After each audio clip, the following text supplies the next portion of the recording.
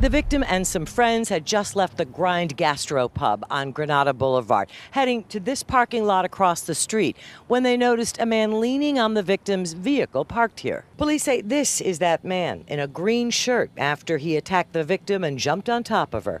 Investigators and pub owner Kevin Wakefield are anxious to identify him, widely circulating a brief cell phone video on social media that caught the end of the assault. Wakefield says the victim had asked the suspect to move away from her vehicle. She asked him again a little more sternly, please get off my car.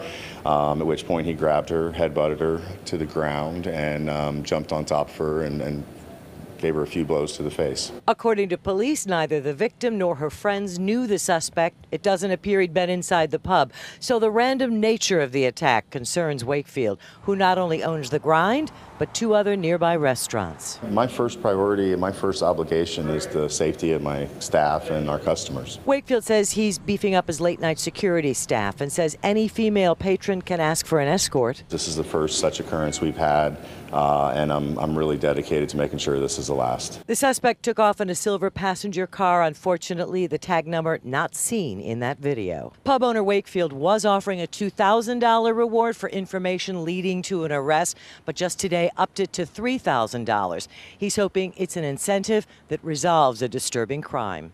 In Ormond Beach, Volusia County, Claire Metz, WESH 2 News.